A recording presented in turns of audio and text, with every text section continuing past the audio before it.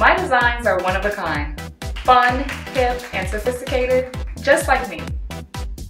I developed my signature style at Lafayette. My professors gave me the freedom and confidence to push beyond the expected.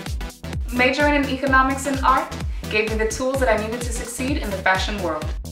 At Lafayette, I got to see that anything was possible, even my own label, Terese Sydonna.